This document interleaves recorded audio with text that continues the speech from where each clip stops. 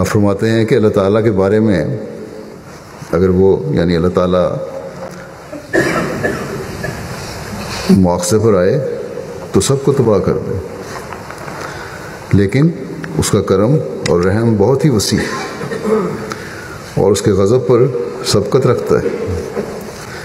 बस अगर इस बात को हम समझ लें और अपने साथियों, अपने भाइयों अपने से वास्ता पढ़ने वालों के मामला में हर वक्त टोन न लगाते फिरें तजस न करें,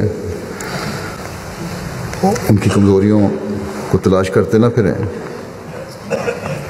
तो एक प्यार और मोहब्बत करने वाला और पुरम मुआशरा कायम हो सकता है।